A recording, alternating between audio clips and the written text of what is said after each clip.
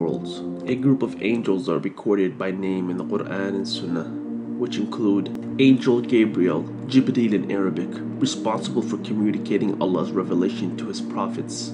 Angel Michael, Mikael, responsible for directing rain, food, crop, and substance with the will of God.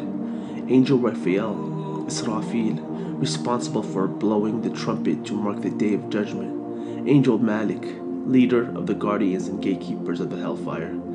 The angels Munkar and Nakir, responsible for questioning people in the grave after death.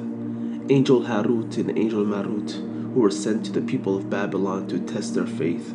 Angel Radwan, guardian of heaven. Angel of death, Malik al Maut, responsible for taking possession of souls from bodies after death by the will of God.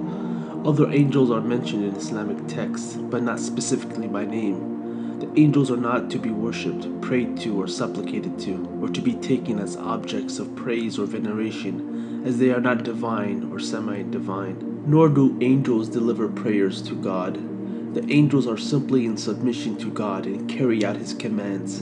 A Muslim recognizes that angels are but a creation of God God is in no need of the angels' assistance and does not need to be worshipped or venerated by the angels or humans, as he is a free and independent deity who gains nothing from the worship of others.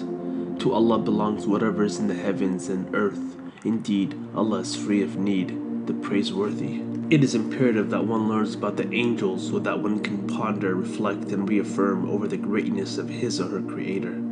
The experience of having knowledge and belief in the angels adds to the awe that one feels towards God, in that He is able to create this magnificent being, and indeed can create whatever He pleases and wills. The awe and magnificence of the Almighty's creation reveals and indicates the magnificence of the Almighty Himself.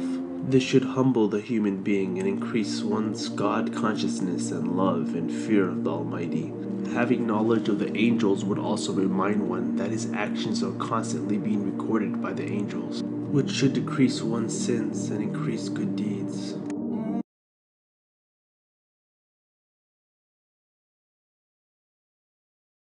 Our Prophet narrated, Whoever guides another to a good deed will get a reward similar to the one who performs it. So please like, subscribe, and share this video. Assalamu alaikum.